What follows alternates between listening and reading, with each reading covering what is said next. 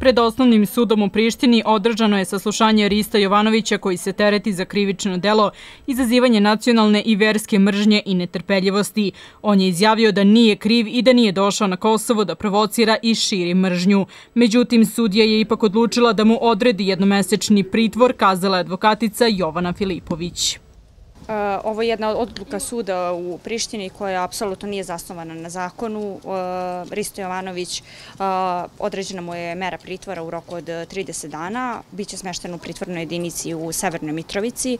Međutim, da bi se odredila mera pritvora nije bilo ispunjen apsolutno ni jedan zakonski uslov koji zakon o krivičnom postupku predviđa i koji je sud dužan da primenjuje.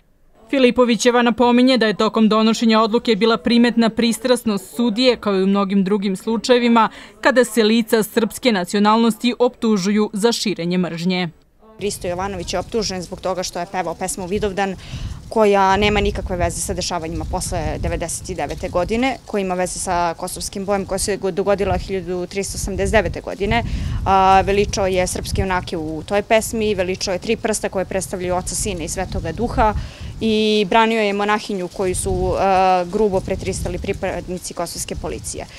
Filipovićeva je kazala da će uložiti žalbu za odbacivanje optužnice i prigovor na dokaze, izrazila nadu da će apelacioni sud razmotriti žalbene navode i utvrditi da nema mesta uslovima za određivanje pritvora. Risto Jovanović iz Podgorice kazao je na saslušanju da ga kod kuće čekaju žena i čerka rođena pre 10 dana i bolestan otac. On je uhapšen 28. juna nakon što je pokušao da ukaže na bespotreban policijski pretres torbe monahinje koja je izlazila iz dvorišta memorialnog kompleksa na Gazimestanu.